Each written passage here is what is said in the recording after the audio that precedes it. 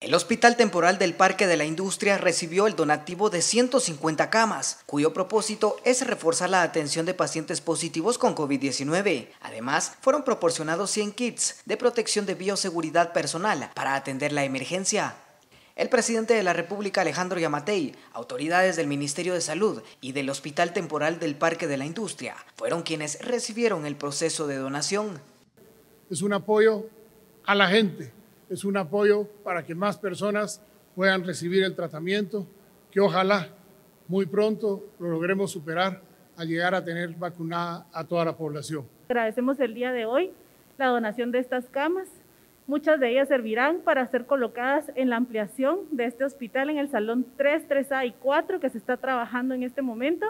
Este donativo fue realizado por la Cervecería Centroamericana SA, Corporación Multiinversiones y Cementos Progreso. Asimismo, Casa Médica se sumó a la responsabilidad del donativo con una parte. Y estas 150 camas es una muestra de ese esfuerzo.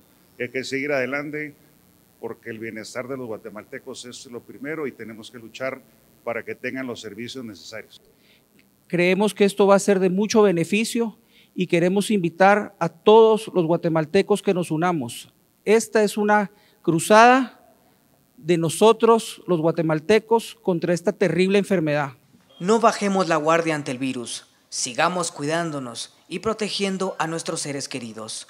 Diario de Centroamérica, las buenas noticias también se cuentan.